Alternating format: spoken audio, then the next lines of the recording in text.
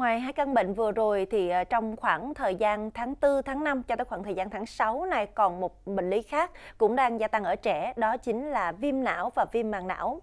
Đây là một căn bệnh mà có thể nói là rải rác quanh năm, tuy nhiên ở thời điểm này thì lại có xu hướng gia tăng rõ rệt. Đáng chú ý, các di chứng có thể gặp sau khi mà trẻ bị viêm não, viêm màng não thường rất là nặng nề như bại liệt, liệt tay, liệt chân, bị động kinh, điếc, trí nhớ kém. Vì thế các bậc phụ huynh phải cần hết sức chú ý và để à, chúng ta biết là sẽ phải chăm sóc và điều trị trẻ như thế nào cũng như là nhận biết những dấu hiệu sớm thì ngay sau đây xin mời quý vị chúng ta sẽ cùng theo dõi phóng sự. Bé gái 4 tuổi này được chẩn đoán mắc viêm màng não.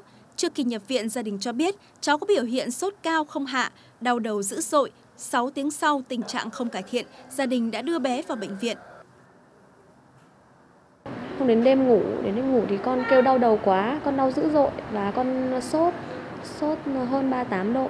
Xong rồi con ờ, cứ mê man, con con không tỉnh táo. Xong rồi con con muốn chớ, muốn nôn. Gia đình chờ kết quả xét nghiệm xong thì bác sĩ kết luận là con bị viêm màng não. Tại khoa nhi Bệnh viện Bệnh nhiệt đới Trung ương, các bác sĩ cho biết từ cuối tháng 4 đầu tháng 5 đến nay, số ca mắc viêm não, màng não và điều trị có sự gia tăng rõ rệt.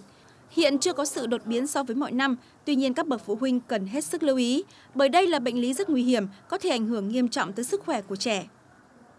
Do cái đặc thù của bệnh, ờ, nên là hầu hết các cháu mà viêm não vàng não vào với chúng tôi đều có cái triệu chứng của một cái hội chứng viêm não cấp, đó là sốt cao, đau đầu rõ rệt, đau đầu uh, rất là dữ dội uh, và những cái cháu vào muộn thì bắt đầu có biểu hiện là ý thức đang giảm dần xấu dần và có một số cháu đã bắt đầu có những biểu hiện thần kinh khu trú như co giật như uh, liên quan đến liệt vận động hay là rối loạn ý thức.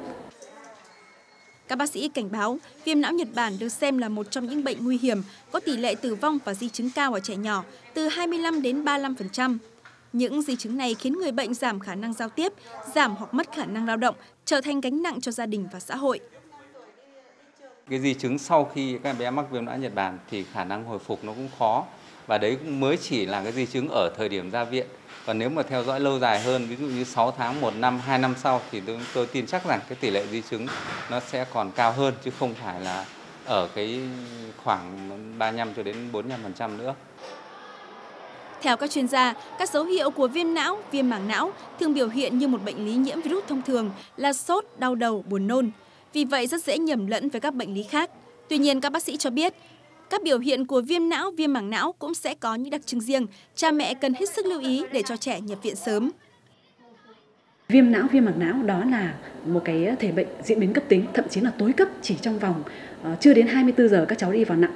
Còn cấp thường trong vòng 2-3 ngày thì sau cái biểu hiện ban đầu là sốt, đau đầu, rồi là nôn đó thì ý thức của con giảm dần rồi uh, con kém linh hoạt. Thế thì uh, nếu mà con có những biểu hiện như vừa nói và các cha mẹ nên quan sát kỹ con cái đau đầu nó khác thường đi. Những cái đau đầu do những virus khác khi hạ sốt con có thể giảm bớt. Đấy hoặc là uh, những cái trẻ mà có ho thường gây nôn thì bây giờ với bệnh viêm não này thậm chí không ho nó cũng nôn. Nôn một cách tự nhiên nôn không kìm được gọi là nôn vọt hay là cái đau đầu cho dù mình có dùng giảm đau cũng không thể hết được đấy thế thì uh, quan sát con và uh, sát sao với những cái triệu chứng mà con có đặc biệt vào mùa hè đây là mùa của viêm não thì cha mẹ nên cho con đến khám sớm Chuyên gia cũng khuyến cáo khi trẻ có các biểu hiện như sốt cao, buồn nôn, đau đầu, cần đưa trẻ ngay đến các cơ sở y tế để điều trị kịp thời, tránh biến chứng nặng và nguy cơ tử vong cao. Để phòng bệnh viêm não, viêm màng não cho trẻ, các bậc phụ huynh cần tiêm phòng cho con đầy đủ, tuân thủ vệ sinh tay, đeo khẩu trang, vệ sinh thân thể và nơi sinh hoạt, ăn chín, uống sôi, khi bị bệnh cần cách ly trẻ ở nhà. Ngoài ra, các bậc phụ huynh cũng cần nâng cao thể trạng cho con bằng cách bổ sung các vitamin và khoáng chất cho trẻ để tránh các tác nhân gây bệnh. Nếu không may bị nhiễm mức độ nặng của bệnh cũng sẽ giảm bớt.